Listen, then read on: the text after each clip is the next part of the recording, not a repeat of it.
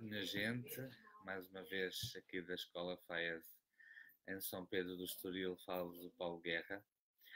Hoje, dia 27 de julho do ano de 2018, e é nesta altura em que estamos a gravar os vídeos promocionais para a escola, bem como também partilhar alguns conteúdos.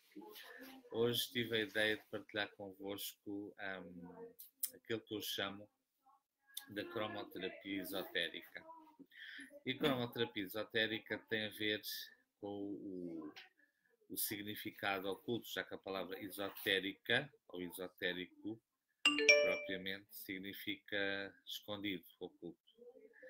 E na, há, há, mais de 30 anos, quando eu comecei nestas áreas uh, das terapias alternativas, no meu tempo, digamos assim, um, no começo dos anos 80, um, tudo o que estava relacionado com estas áreas, e em Portugal, acabado de sair de uma ditadura de mais de 40 anos, uh, não estávamos muito habituados, uh, digamos, à mente aberta. Então encarávamos todas estas áreas como o chamado mundo oculto, mundo desconhecido, um, significado oculto, uh, escolas ocultas, enfim, havia assim muito preconceito. E portanto eu agora decidi falar-vos sobre o significado esotérico, mas de uma forma exotérica, porque exotérico ao contrário de esotérico, a palavra exotérico quer dizer aberto, revelado. Então vamos falar sobre um, os, os, dias da semana. Os dias da semana e as associações às cores. Por exemplo, hoje é sexta-feira. A sexta-feira é um dia que é regido por, uh, por Vênus, pela vibração e pela energia do planeta Vênus. Como a própria palavra em inglês diz, Friday, que significa Freya Day, ou dia de Freya, que é a deusa nórdica que, em termos mitológicos, corresponde à deusa romana Vênus. Então, hoje é o dia dedicado à energia e à vibração de Vênus. As cores, em termos cromoterápicos, em termos vibracionais da sexta-feira, são cores ligadas ao próprio centro de forças ou chakra cardíaco. E tem a ver precisamente com a área e a zona do coração e da câmara do coração. É um bom dia em que podemos trabalhar cromoterapicamente com a cor azul, verde clara e cor de rosa. As cores de Vênus habitualmente são o cor de rosa e a cor verde esmeralda. E são precisamente essas as cores da chama tripla relacionada com o coração. A sexta-feira uh, é, um, é uma vibração em que, de facto, se nós, por exemplo, vestirmos eh, peças de roupa cor-de-rosa, se, por exemplo, vestirmos peças de roupa verde, é um dia que temos de vibração relacionada com o coração, e as áreas do coração, nós podemos ter muito mais resultados em relação a tudo o que nós fazemos a partir da câmara do coração. O comunicar, o falar com amor, o tratarmos com amor. Vênus tem a ver com a nossa autoestima e Vênus é regente de dois signos nomeadamente o signo de touros, que é, pertence ao elemento terra, e o signo da balança, que pertence ao elemento ar. Quando nós nos alinhamos, e principalmente estes dois signos, não sei se é esse o seu caso, se é nativo de touro ou se é nativa de balança. Portanto, este é um bom dia para de facto nós nos alinharmos e puxarmos cosmicamente esse, esse raio venusiano sobre nós e alinharmos com as energias vibracionais daquela que é considerada a alma gêmea da Terra, que é o planeta Vênus, em termos esotéricos. Cromoterapicamente, o cor-de-rosa, o verde esmeralda e, portanto, alimentos relacionados com esta cor, bebidas relacionadas com esta cor, aromas que estejam uh, apresentados com, com estas cores e muito mais nós podemos incorporar nas nossas vidas e cromoterapicamente trabalhar, até mesmo nas nossas casas. Há de reparar que um quarto para descanso, o nosso quarto de dormir, ele é ou deve conter nas suas paredes e texturas, como no caso um papel de parede, a cor rosa e a cor verde esmeralda. São cores calmantes, são cores suaves, são cores equilibrantes e são cores que harmonizam por fora, exteriormente, e por dentro, interiormente. Considerem o rosa, considerem o verde, mas nós explicamos na, no workshop que se vai realizar em agosto. O sábado, nós temos várias cores associadas. É uma cor que é, tradicionalmente, em termos exotéricos, associada ao planeta Saturno. Por exemplo, na Umbanda, que é uma corrente uh, religiosa, filosófica afro-brasileira, associa-se à Orixá Nanã, que é considerada a avó de todos os orixás e que lhe atribuem, por exemplo, a cor lilás. É interessante este sincretismo. Um, mas em termos cromoterápicos esotéricos e na linha que estamos a falar, nós atribuímos a Saturno o dia do sábado, aliás, o próprio nome em inglês, Saturday, ou Saturn Day, significa o dia de Saturno, portanto, o dia do, do Cronos grego. É o dia de descanso para muitas pessoas, nomeadamente os nossos irmãos adventistas do sétimo dia, a quem saudamos e respeitamos pela contribuição notável que eles nos têm legado em termos da, da saúde. Então, o sábado, considerado o sétimo dia do descanso, tem a energia de Saturno, é relacionado com o chumbo, uh, e as cores associadas geralmente é o preto, o castanho, o cinzento e o verde escuro. Típicas cores de terra são as cores que muito prevalecem nas, nas matas, nas florestas e, portanto, em que tudo associamos à terra e toda a sua beleza. E, portanto, o sábado, em termos vibracionais, eu pessoalmente nasci no, sábado e, e o dia do nosso nascimento também relacionado com a nossa vibração de cor é muito importante. Isso é, é um tema que iremos aprofundar no workshop de agosto.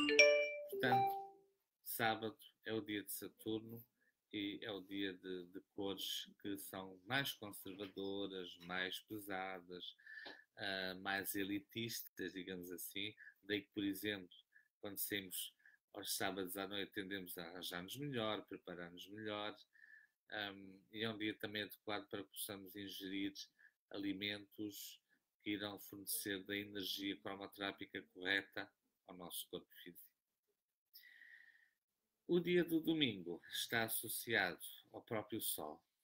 Um Sol que hoje está para o nublado aqui na, na área, na região em que a FAES, em que nós funcionamos, mas de facto o Sol, associado ao signo do Leão, é a vibração da cor dourada. O domingo é o em inglês também Sunday, o dia do Sol, o dia do Sol invicto então é um dia em que tradicionalmente, pelo menos no mundo ocidental, muitas pessoas têm o seu dia de descanso e o domingo uh, costumamos reservar então para um, nos cuidar. É? O signo do leão que está relacionado com um, autoestima, autovalorização, uh, o sabermos e o sermos quem somos, essa cor dourada que fica tão bem em em muitos trajes, em muitos objetos de decoração. Cor dourada, de facto, ou até mesmo em joalharia, porque a joalharia é muito importante e a orivesaria também, a nível da aplicação cromoterápica, por exemplo, na nossa, nos nossos ornamentos exteriores. De facto, o domingo e o seu dourado é dedicado ao deus Apolo, ao deus Apolo, ao deus Sol, e portanto é o dia do sol, o dia da cor dourada. É uma cor real, é uma cor brilhante, é uma cor que chama a atenção, mas acima de tudo é uma cor de valorização pessoal e é uma cor que nos faz sentir, faz-nos sentir bem, eh, faz-nos sentir animados. Eh, está relacionado aqui com o plexo solar, aqui três dedos abaixo da câmara do coração, do chakra cardíaco, e, portanto a cor dourada é uma cor que, por exemplo, muitas senhoras e e senhores também costumam aplicar a joalharia, onde separar pendentes, os seus fios, medalhas ou outros objetos com a cor dourada e que geralmente estão aqui a tocar uh, esta zona da pessoa e, portanto, a vibrar e a ajudar a vibrar aqui o, o plexo solar e alimentar o plexo solar da pessoa. A segunda-feira é o dia da Lua, tradicionalmente, em termos esotéricos, é o dia do, da cor prateada. Um, a segunda-feira também, bem como a sexta-feira, em termos do que nós chamamos de limpeza espiritual, limpeza energética, é um dia ideal para nós podermos energeticamente limpar as nossas casas, os nossos uh, locais de emprego, os nossos uh, veículos. A segunda e sexta-feira, com as cores uh, das vibrações da Lua e de Vênus são é um, é um dos dias que nós devemos de facto eh, devemos uh, aplicar estes princípios, por exemplo, no campo da, da limpeza de espaços pessoais, comerciais. Segunda-feira, de facto, é a cor prateada. A cor prateada está associada, como nós sabemos, não só a nível do vestuário, mas a nível de objetos, por exemplo, há uma cor que se nota muito nos alumínios e, portanto, o prateado uh, é uma cor que está muito ligada ao, ao, às partes que a lua rege, que neste caso é o, o estômago, o sistema digestivo e, portanto, é muito comum as pessoas usarem uh, o prateado em aplicações de roupa, que também lhes confere aquilo que chamamos de efeito espelho. É? A lua tem um efeito magnético sobre a Terra e alimenta-nos as nossas emoções e a forma como expressamos as nossas emoções, e o prateado, ou a cor prata, ou o metal prata, é uma das uh, cores cromoterápicas que são muito usadas por nós para nos podermos alimentar, por exemplo, em termos emocionais.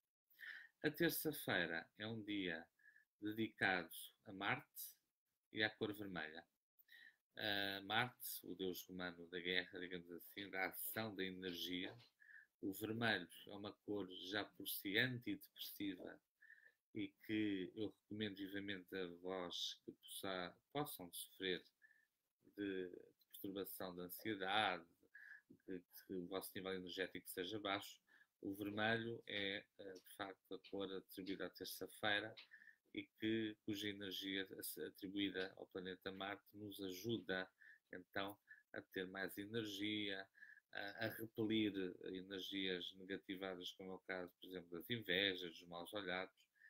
Um, cor vermelha é ótima, de facto, para que nós possamos fortalecer os campos energéticos, debelar esse tipo de energias intrusas e mesmo nas nossas casas confere uma energia forte, uma energia apropriada para que nós possamos uh, sentir, mesmo a nível de comércio, quem se dedica à parte comercial, onde reparar, por exemplo, que as lojas dos nossos irmãos chineses têm, têm imenso vermelho, os, habitualmente os restaurantes.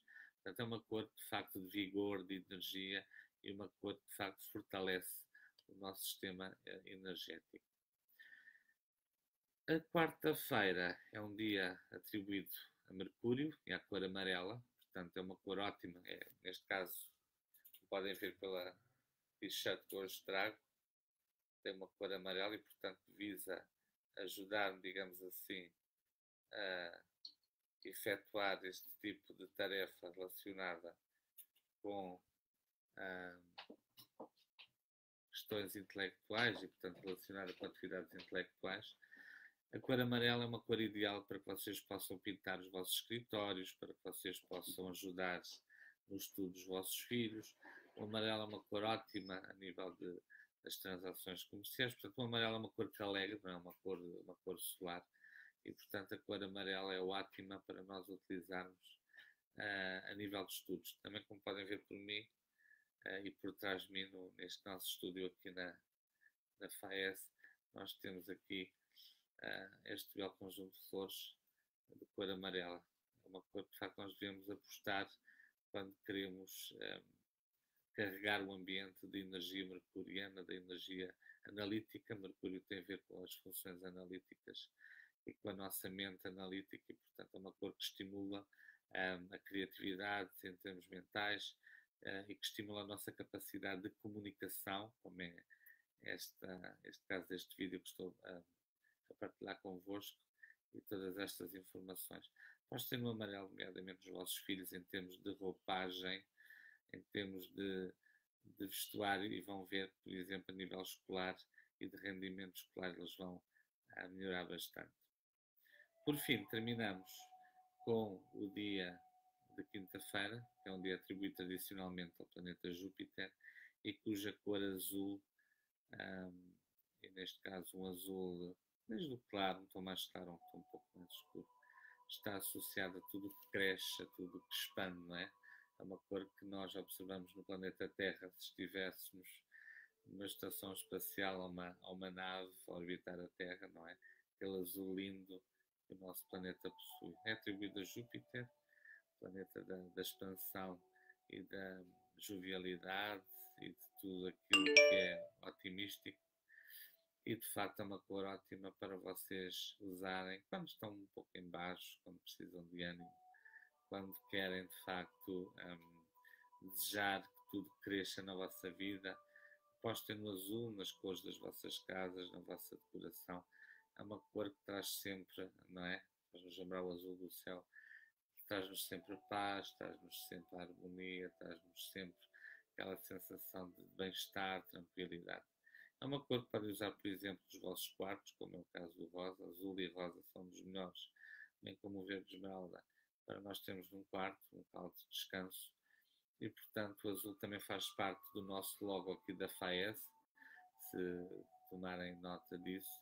E, portanto, o azul destina-se precisamente a transmitir estes valores de crescimento, de harmonia, de sabedoria. Portanto, está tudo relacionado com valores e, e éticos uh, que nós queremos uh, promover nas nossas vidas, em termos de imagem, em termos de postura, perante a vida, perante nós, claro, perante os outros.